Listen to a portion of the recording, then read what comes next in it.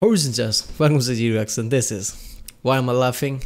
Because it's Russia and Fat Electrician. B- Russia ain't playing Soviet Union because I, I know where they are going with this one. Yeah, I'm pretty sure Fat Electrician will have a lot of say about like communism and Soviet Union, especially with everything going on right now. I don't know how I missed this video, but yeah, this is from the unsubscribed clips channel.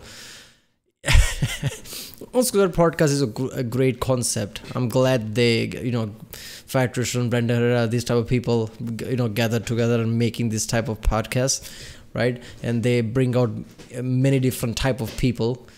Somehow I find this podcast more interesting than anything else. Like, look, I love Fat Electrician channel, obviously, but like, I'm learning a lot from this podcast the Japan thing, like they drop a pamphlet before bombing, it just blew my mind, right? And many other things, like the videos I would never watch, I'm getting exposed to basically, right? So this is very interesting. So let's watch one. Remember, flag for Rickson, don't subscribe, so that way I know which videos to react to more. Uh, check out the Rickson, this link in the season, and let's do it. I wanted to deep dive onto your um the the guy you just did a video about of the best anti-hero now. for I don't know about War best. II. He's one of them. Though. you said it in the fucking video. I said he's one of the best. Okay, well, it's a fucking dope ass story because No, oh, I'd well, never yeah. heard Slow of it that. down How long did, Sandy, you, so how like long he's did you have telling you to something. deep dive for that? How do How you did get I on do those it? tangents where you're like this Oh, I one was like, individual? how'd they get how'd they get tanks on the beach at D-Day? And then I googled it and I was like, oh, oh shit. You text me at like two in the morning. You're like, Bro. I'm working on a video. Yeah, it was. I was fuck freaking out for like four hours. I was like, oh shit. The Germans didn't invent the Blitzkrieg. It was this guy. See, I didn't know that. Why'd you text me about that? Huh? I was 'Cause curious. I don't have many people that are up that late that would understand. Uh, that's fair. I don't have. That thing blew my mind. Because Blitzkrieg and Nazi Germany is the one thing I associate always. Like, that is their MO. And realizing, wait a minute, Germany didn't do this. Like, uh, some American guy did. Like, oh, what the fuck? And why am I saying some American guy? Because Life Fat Electrician, he's one of the end. How many people are like that, right? I bet Fat Electrician channel will never run out of content, content because he will always find some badass guy from history. I guess when you have like freedom, liberty, right, uh, democracy, people, you know, just flourish from that. All type of people, and obviously that's what's gonna happen here. Like that many the- what autistic those friends. words are, yeah. so You're like, huh, so, so, so the Blitzkrieg. Doesn't want to text Dude, the it was German awesome. guy what Blitzkrieg might be. Yeah, I'm not interested at all. Jerk. You're asleep. No, I'm up till two in the morning. Mission. Oh, there you go. Fucking so. Eastern Standard Time. Sorry, This what? a vote for Eastern Standard Time is a vote for Brandon Herrera. Oh god. A vote car bombs Brandon. That's the most offensive one yet. So this gentleman is named Percy Hobart. Sir, Sir, Sir Major General Sir Percy Stanley Doctor Cleghorn Hobart. Esquire. so is it rank then? Knighthood? Rank then knighthood, yeah, because like okay. knighthood is like part of your name, I think. he came out of retirement for this, correct? like rank changes. So What? The, where are they? Are they in Vegas? What is that building behind it? Are they in Vegas? This feels like Vegas, right? I don't know. Oh, uh, right after he fought in World War One, got a military cross, came out of World War One, went to college, and then he's like volunteered to be in the tank corps, and nobody else wanted that job because it was they were like, oh, tanks are just for going from one trench to the other. We're not going to do anything else with them ever again. And the military is mostly ran by uh like cavalry guys, That was when horses were right? huge in World right. War One. so they like didn't believe in tanks, and then um, so yeah, he like developed all these fucking tactics. Nobody wanted to listen to him, uh, so they hated him, and then he ended up banging some other officer's wife. They divorced. He married her, so now they all really hate him. What a Chad. Yeah, I know. So Miriam, I would like to stuff you while your husband's away on training. What say you? hey. Your husband's on a horse. I got a tank. We can run it. I don't care. Let me black- Yeah, this reminds me uh, that uh, in Ukraine, right, uh, long ago, there was like a British cavalry charge where they got the wrong orders or information and they charged somewhere where there were nobody there. But what happened when they charged there and finally get there, nobody was there, but they suddenly became center, the target of like uh, uh, cannons, right? So it's like cavalry charge versus cannons. It was just a massacre, right? Uh, I forgot the name of that, right? I'm pretty sure it was in Ukraine. Uh, I'm pretty sure like even Top Gear mentioned that. I remember that part, right? So yeah, when you- when you know the technology basically advances and you're this old style of people like oh i'm just like calvary is my thing this is what i'm gonna do. People really forget like why india was conquered by british let's just say right? Uh, what in, indians couldn't fight back? No there was a massive technological differences right? British had muskets and cannons indians didn't. The end. There you go british raj so many you know military wars and like uh, combat stories are there where like somebody still tried to do the old style thing and just got massacred. That was a big thing in world war one right? Like people wearing bright clothes when like you know all this is proper this and that. Yeah by the way people can see you from the distance now. This is world war one. This is like 20th century. So people quickly changed that like oh fuck me we need to create like this dull beige and like camo style clothes Pelosi. Have you seen the size of his horse's cock? Have you seen the barrel? Anyways, Can't sit on that. anyways, no, yeah, he, he got forced into retirement, and then uh, the Germans fucked up France in like six weeks, beat the shit out of the British using his tactic that he developed that they told him wasn't going to work, and then Churchill himself pulled him out of retirement. So the. Blitzkrieg, he actually had that before it was they started using that tactic. He was like, "Hey, this yeah, is no, what he, you need he, to do," and they didn't listen. He developed it and then convinced the Brit- British military to let him do like a humongous training exercise, and all the umpires were officers, so they made it be like, no, that didn't work. No, that's wrong. That didn't work.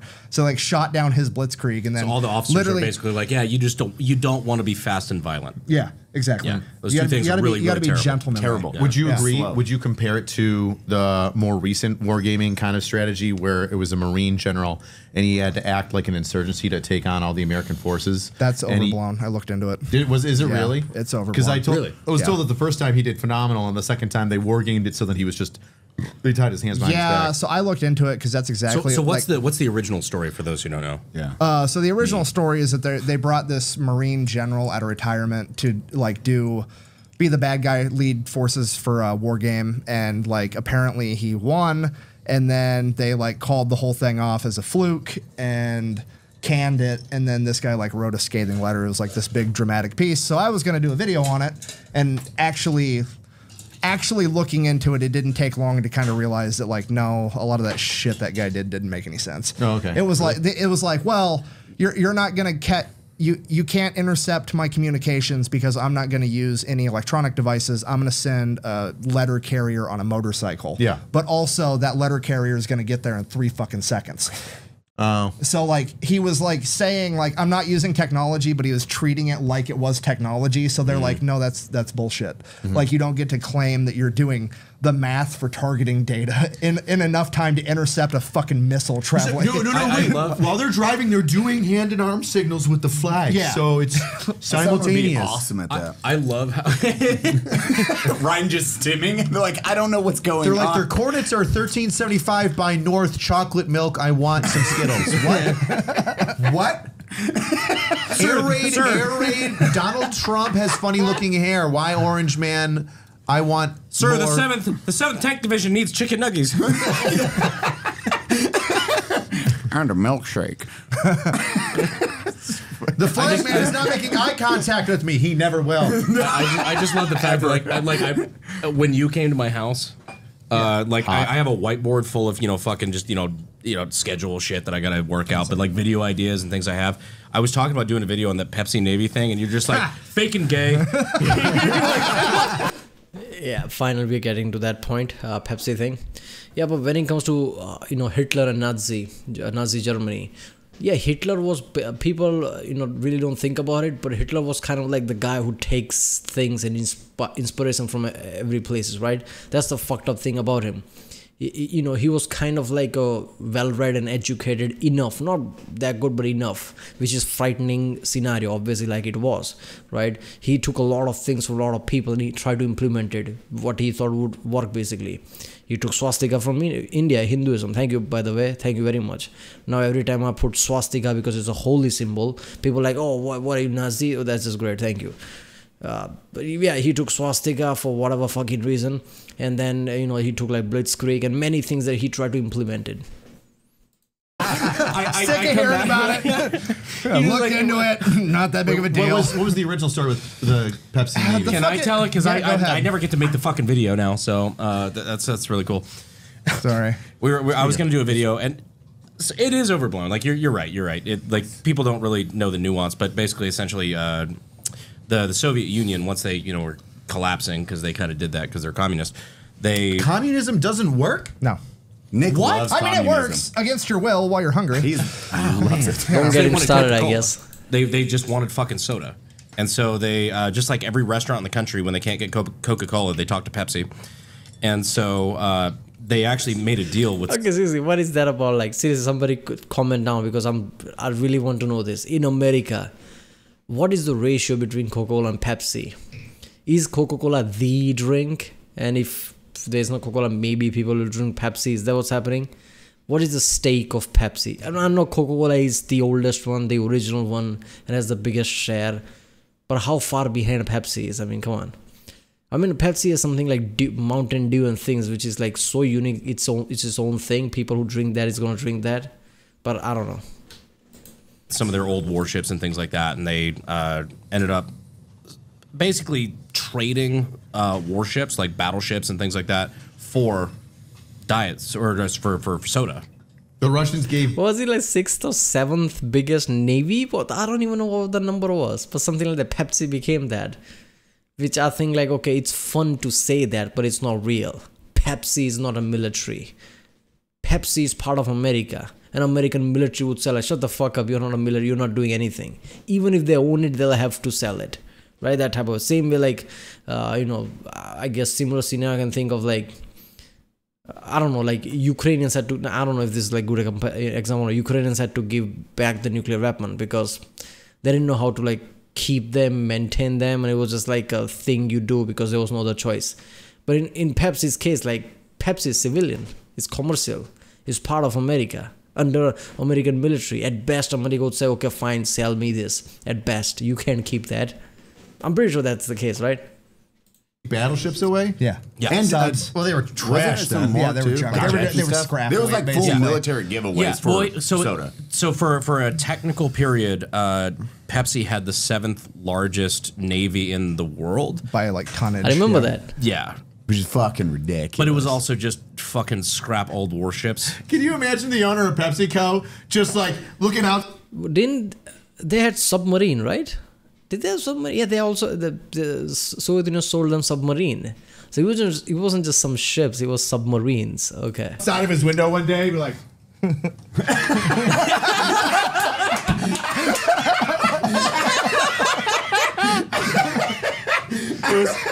Who wanted to get seven fucking submarines?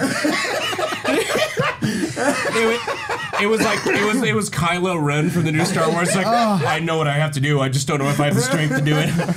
It's, it's just it's just this guy just coming sitting down. He's just like, we're never gonna financially recover from this. what the fuck are we gonna do with these It's things? Russian steel. You can point your finger through it. okay, so the funny part about that, it wasn't Coke that they wanted.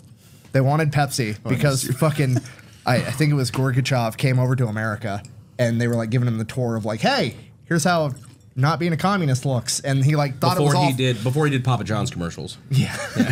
Did Gorbachev do a Papa John's commercial? No, wait, Papa John wasn't around over then. Why pizza hut right he did pizza hut are you feeding into my ego like this? It was right. I don't know what's happening. You don't. Pizza Hut. Pizza. There we yeah, go. yeah. Pizza Papa Hut. John's. You- you like, know about that, did right? No, he did Gorb- do a Pizza Hut Gorbachev did a, pe- a Pizza Hut Yes, commercial. that's what it was. Yeah. Big fucking liver You know, spot. you know, you know who else works? You know who else works?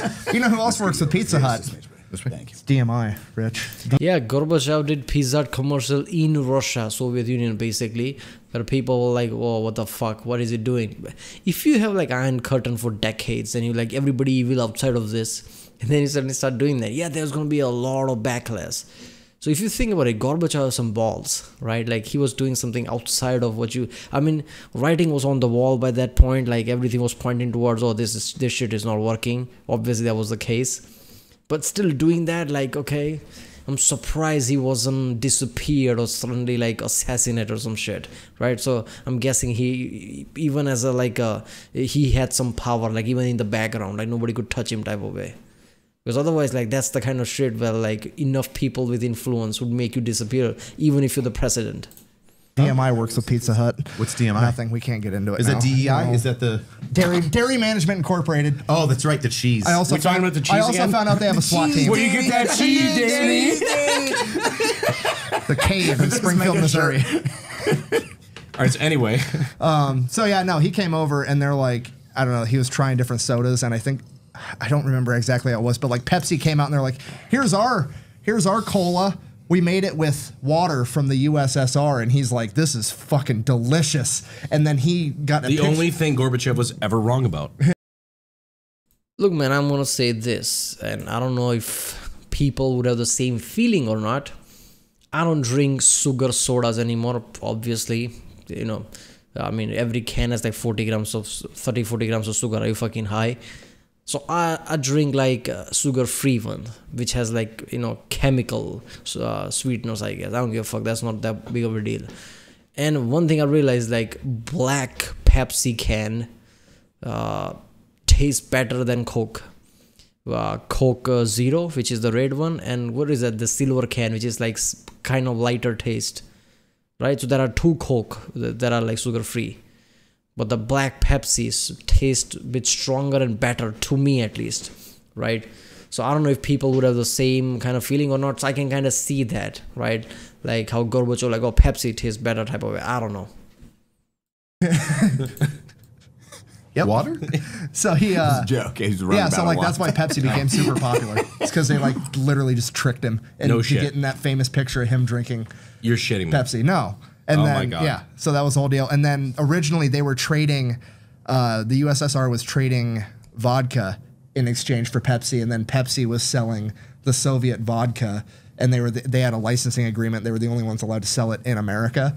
But then after the whole like fucking Cold War and human rights violations thing, it became less popular to drink shit, that. little shit. So then they had to trade them battleships, yeah. it's a good time.